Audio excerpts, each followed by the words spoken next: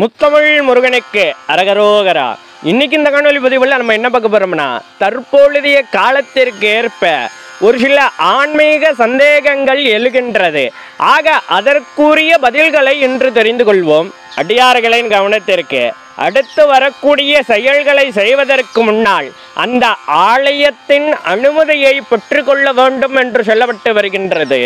ஆக முதல் கேள்வியாக ஆலயத்தில் வீற்றிருக்கக்கூடிய சுவாமியின் திருவுருவ சிலையை புகைப்படம் எடுத்து கொள்ளலாமா என்று கேட்கக்கூடிய அடியார்கள் ஆலயத்தில் வீற்றிருக்கக்கூடிய சுவாமியின் திருவுருவ சிலையை நாம் எதற்காக என்ன நோக்கத்திற்காக புகைப்படம் எடுக்கின்றோம் என்பதை பொறுத்தே அதற்குரிய பதில்கள் அமைகின்றது. ஆக நாம் அந்த சுவாமியின் திருவுருவ சிலையை புகைப்படம் எடுத்து வழிபாடு செய்வதற்காக புகைப்படம் எடுக்கின்றோம் என்றால் தாராளமாக அந்த புகைப்படத்தை எடுத்துக்கொள்ளலாம் அல்லது ஒரு பொழுதுபோக்கிற்காக மட்டுமே அந்த- அந்த புகைப்படத்தை எடுக்கின்றோம் என்றால் அது போன்ற செயல்களை செய்யாமல் இருப்பது நன்று என்று சொல்லப்பட்டு வருகின்றது. அடுத்த கேள்வியாக சுவாமியின் திருவுருவ சிலையுடன் சேர்ந்து நாமும் புகைப்படம் எடுத்துக்கொள்ளலாமா என்று கேட்கக்கூடிய அடியார்கள். மீண்டும் நாம் அது போன்ற செயல்களை என்ன நோக்கத்திற்காக செய்கின்றோம் என்பதை பொறுத்தே இதற்குரிய பதில்களும் அமைகின்றது. ஆக அந்த சுவாமியை நமது உறவாக நமது பந்தமாக நமது தாய் தந்தையாக நமது தாத்தா பாட்டியாக பாவித்து அது போன்ற செயல்களை செய்கின்றோம் என்றால் தாராளமாக செய்து கொள்ளலாம். அல்லது ஒரு பொழுதுபோக்கிற்காக அது போன்ற செயல்களை செய்கின்றோம் என்றால் அது போன்ற செயல்களை செய்யாமல் இருப்பது நன்று என்று சொல்லப்பட்டு வருகின்றது.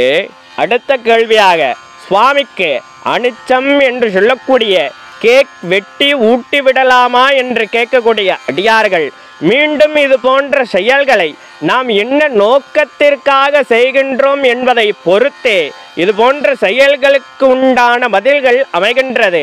ஆக சுவாமியை நமது உறவாக நமது பந்தமாக நமது தாய் தந்தையாக நமது தாத்தா பாட்டியாக பாவித்து இது போன்ற செயல்களை செய்தால் எந்த ஒரு தவறும் இல்லை. தாராளமாக செய்து கொள்ளலாம். அல்லது இது போன்ற செயல்களை ஒரு பொழுதுபோக்கு அம்சமாக செய்கின்றார்கள் என்றால் இது போன்ற செயல்களை செய்யாமல் இருப்பது நன்று என்றும் சொல்லப்பட்டு வருகின்றது.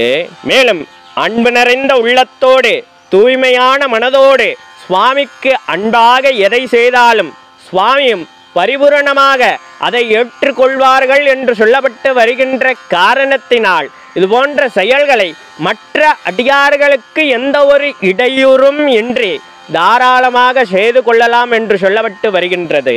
அன்பு நிறைந்த அடியார்களை காலங்கள் மாறினாலும் நமது சுவாமியினிடம் நாம் வைத்து கொண்ட அன்பின் காரணமாகவே தற்பொழுதைய காலத்திற்கேற்ப அந்த அன்பில் செய்யக்கூடிய ஒரு சில செயல்களும் மாறுதல் அடைந்திருக்கின்றதே தவிர சுவாமியினிடம் நாம் வைத்து கொண்ட அன்பு மாறாத அன்பு நிலையாகவே நிலைத்திருக்கின்றது என்பதை சொல்லிக்கிட்டு மேலும் ஒரு இனிய பதிவுல உங்களை வந்து சந்திக்கின்றேன். இதுபோல ஆன்மீக சார்ந்த ஏதேனும் சந்தேகங்கள் இருந்தாலும் கூட தயங்காமல் கமெண்ட் பாக்ஸில் தெரிவிங்க.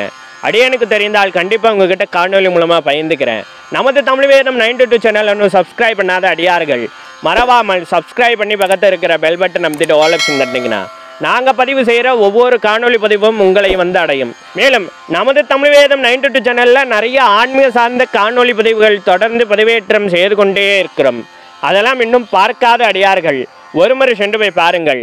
உங்களுக்கு தேவையான தகவல்கள் அதிலும் இருக்கக்கூடும். அடியார்களின் வசதிக்காக பிளேலிஸ்டும் தயார் செய்து வைத்திருக்கின்றோம்.